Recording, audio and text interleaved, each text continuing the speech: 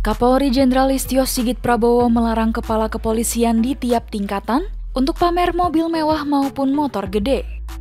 Pasalnya, situasinya saat ini sedang tidak baik.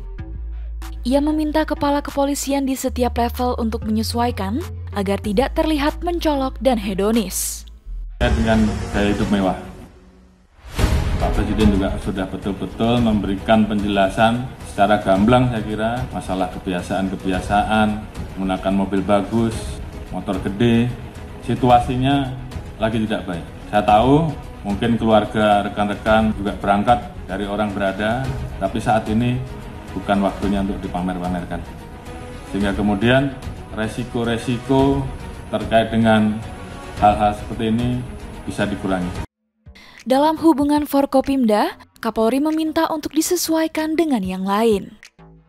Ia lantas mencontohkan, apabila bupati menggunakan mobil Innova, maka polisi diminta jangan menggunakan mobil yang lebih baik dari itu, terlebih saat melaksanakan dinas. Seluruh anggota Polri pun diperintahkan untuk mengingatkan keluarganya masing-masing.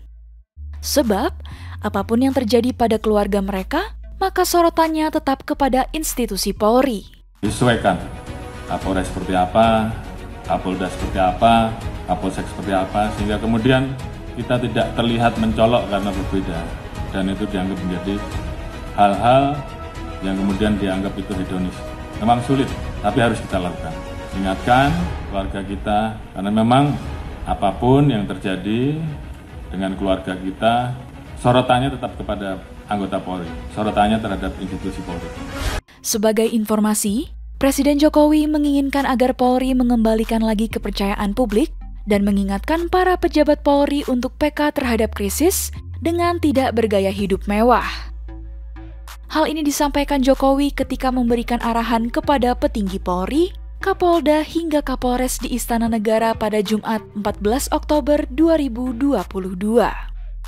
Adapun Jokowi menyebut bahwa indeks kepercayaan publik kepada institusi Polri menurun drastis sejak munculnya kasus Verdi Sambo. Diketahui, kepercayaan publik kepada Polri pada November 2021 mencapai 80 persen. Sementara, pada Agustus 2022 ini merosot jauh hingga 54 persen.